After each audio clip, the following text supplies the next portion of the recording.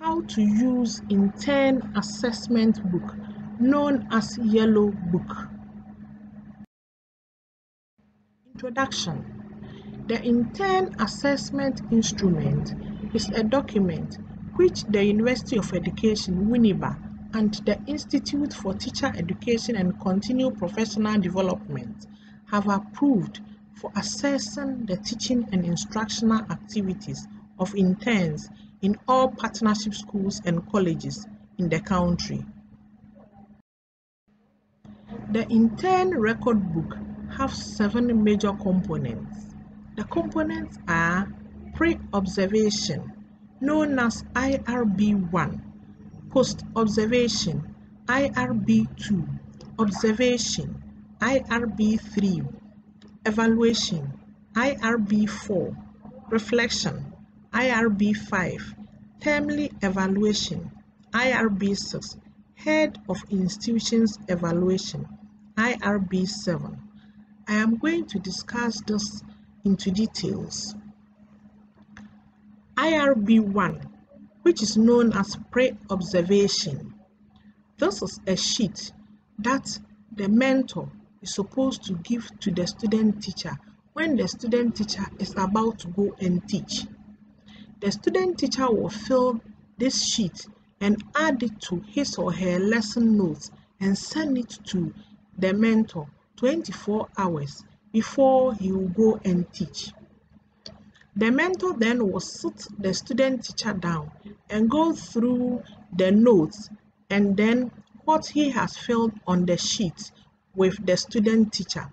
If there are corrections on it, the mentor will ask the student teacher to go and do the corrections before he or she will go and stand in front of the class and teach. After teaching, the mentor will give the student teacher IRB2 to fill. The student teacher, after filling the IRB2, will send it back to the mentor. Then the mentor will sit the student teacher down again and explain what happened in the classroom with the student teacher. The third one is observation or the grading sheet. This one we will discuss it into detail, so I'm skipping it. The next one is evaluation, IRB4. IRB4 is what the mentor or the supervisor will be writing the point about the student whilst the student is teaching. After that, the student, the mentor will discuss what he has written about the student with the student teacher. The next one is reflection, IRB5. The mentor will give a copy of IRB5 to the student to fill. After that, the student will go and show it to the mentor. Then the mentor will discuss what is on the sheet with the student. After everything, the mentor will give IRB1, IRB2, IRB4 and IRB5 to the student to put it into his or her portfolio. Then the mentor will fill IRB6, which is the timely evaluation. After that, he will send it with the IRB3 that the mentor have filled to the head teacher the head would then fill IRB7 and then mail it to the department. Now, I'm going to discuss IRB3 into details. IRB3 is green in color.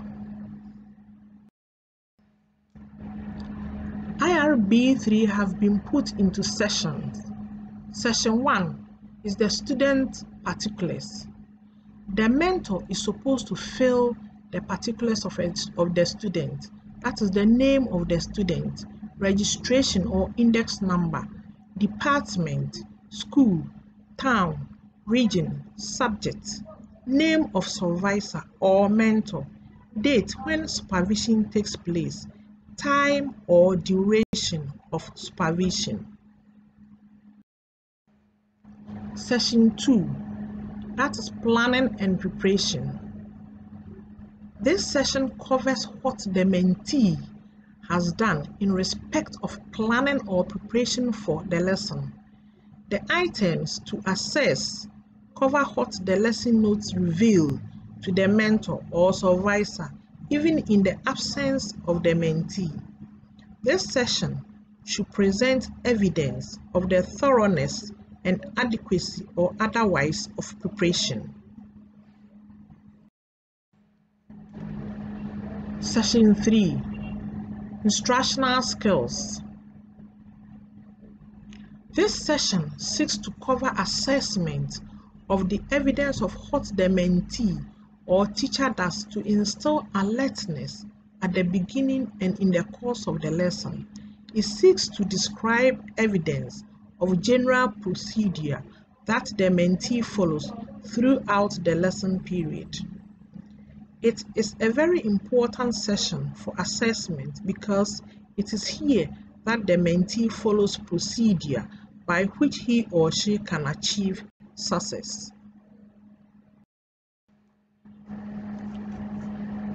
The next session is classroom management. This session requires the mentor or supervisor to look for how the mentee maintains order and discipline and how he or she manages the class without problems.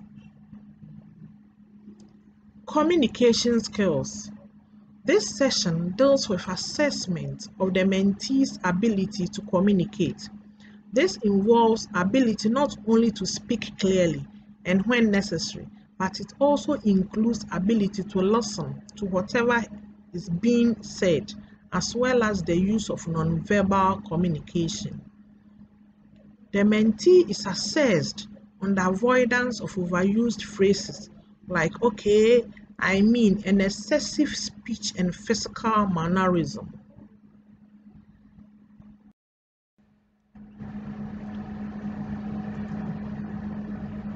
Evaluation here, the supervisor or mentor looks for how the mentee brings the lesson to a close.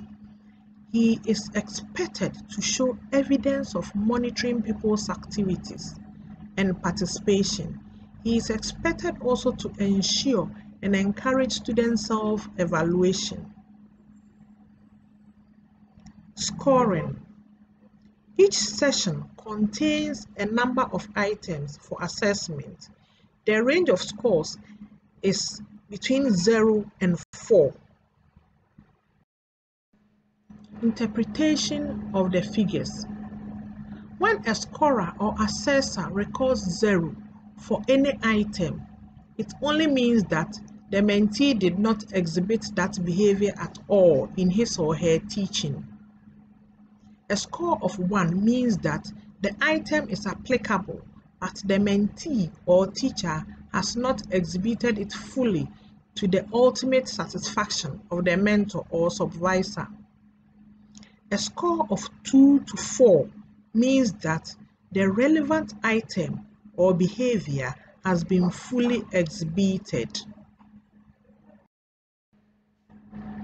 Grading system 80 plus is A, 75 to 79 is B 70 to 74 is B. 65 to 69 is C 60 to 64 is C. 55 to 59 is D 50 to 54 is D. 45 to 49 is E. Thank you very much.